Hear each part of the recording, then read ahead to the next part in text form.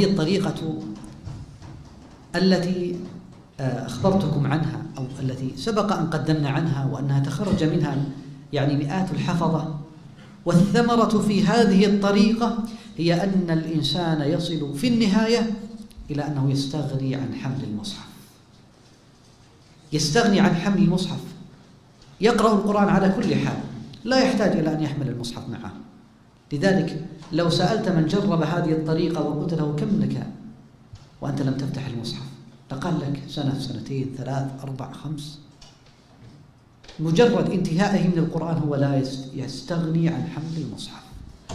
وليس هذا الأمر بعسير وليس هذا بصعب وليست هي بطريقة مستحدثة يا إخواني وإنما هي يعني تطبيق لطريقة السلف الصالح في الحفظ. وهذه الطريقة يعني يمكن أن نقول أنها تقوم على ثلاث ركائز. الأمر الأول التكرار والأمر الثاني الربط والثالث المراجعة. وكل وكل أمر من هذه الأمور الثلاثة يحتاج إلى شيء من التفصيل أشير إليه على وجه السرعة. فأنت حينما تريد أن تحفظ محفوظا إنسان يريد أن يبتدئ كمثال من البقرة من سورة البقرة.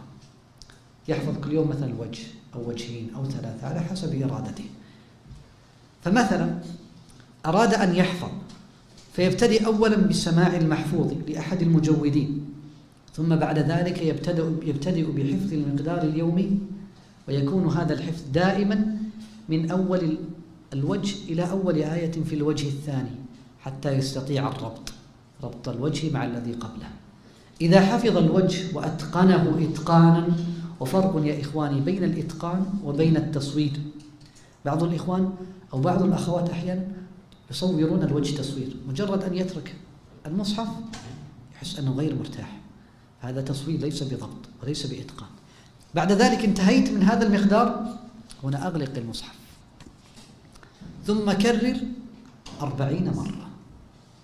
وفي البداية الإنسان يعني قد يصعب عليه أن يكرر أربعين مرة لكن يتنقل. يعود الإنسان نفسه عشرين مرة ثم بعد ذلك ثلاثين ثم أربعين.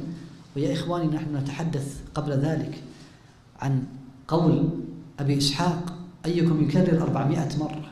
يعني هذه أربعين ليست بشيء من الجهد وشيء من التعب لمن أراد أن يصل إلى تحقيق الثمرة.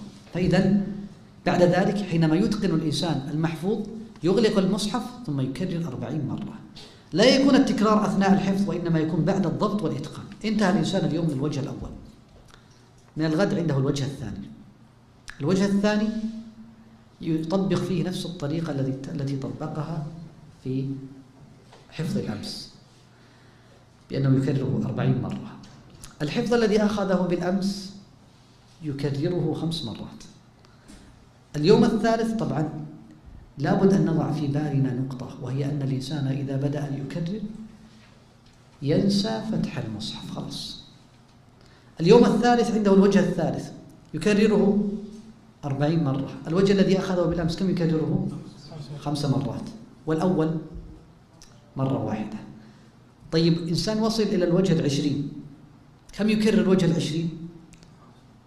أربعين مرة. والوجه التاسع عشر؟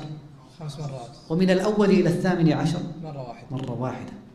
وضعوا في بالكم أن المراجعة تكون غيبا. قد يقول قائل إلى متى وأنا كل يوم أراجع من أول حفظي إلى نهايته نقول حتى تصل إلى جزئين. إذا وصلت إلى جزئين بعد ذلك يقسم هذا على يومين. فتراجع اليوم الجزء الأول وغدا الجزء الثاني. اليوم الثالث الجزء الأول واليوم الرابع الجزء الثاني. وهكذا. وصل حفظ الإنسان إلى ثمان أجزاء. قسموا على أربع أيام. وهكذا كلما زاد الحفظ زادت المراجعة. والشيء المريح في هذا أن الإنسان في المراجعة لا يحتاج إلى أنه يحدد أوقاتا للمراجعة. لماذا؟ لأنه لا يحتاج أن يفتح المصحف فهو يقرأ في كل وقت. فهذه هي الثمرة التي يصل إليها الإنسان